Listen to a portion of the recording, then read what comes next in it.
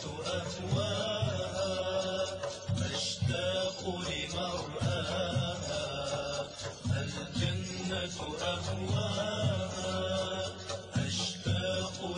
الله والحمد لله وصلى الله وسلم على رسول الله وعلى آله وصحبه ومن والاه. الجنة ونعيمها تربة الجنة وحائطها.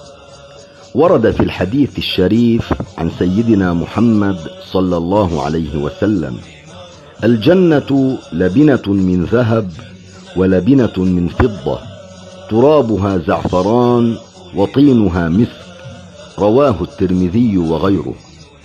وقد ورد أن ابن صياد سأل النبي صلى الله عليه وسلم عن تربة الجنة فقال ضرمكة بيضاء مسك خالص. رواه مسلم. أي بيضاء نقية. وإن أحجار الجنة وحصبائها لهي يواقيت مشعة بالنور تزيد من ضياء الجنة.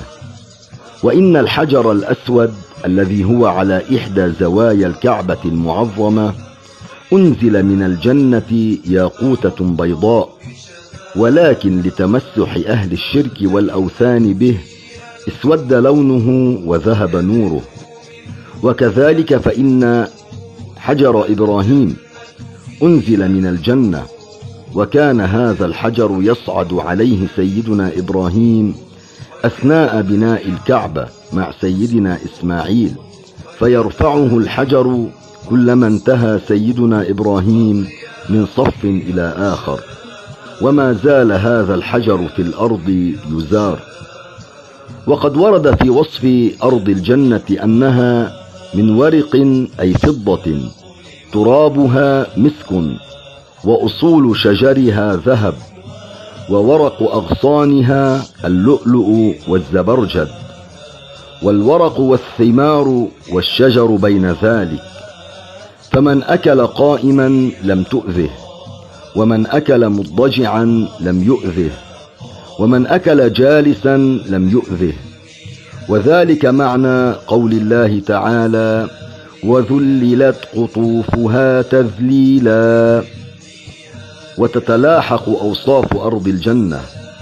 فعن أبي هريرة قال قلنا يا رسول الله أخبرنا عن الجنة ما بناؤها. قال لبنة من فضة.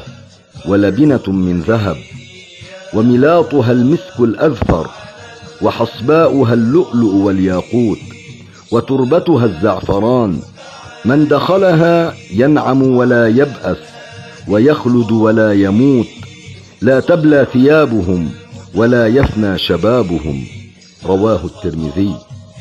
والجنة هي جرم عظيم الحجم حقيقي موجود لا شك فيه. وهو متماسك شأن باقي الأجرام العلوية كالسماوات السبع. فهي أجرام حقيقية متماسكة ليست هواء وغيوما بل سماء ثابتة لا تتحرك. يسكنها الملائكة ويعبدون الله تعالى فيها.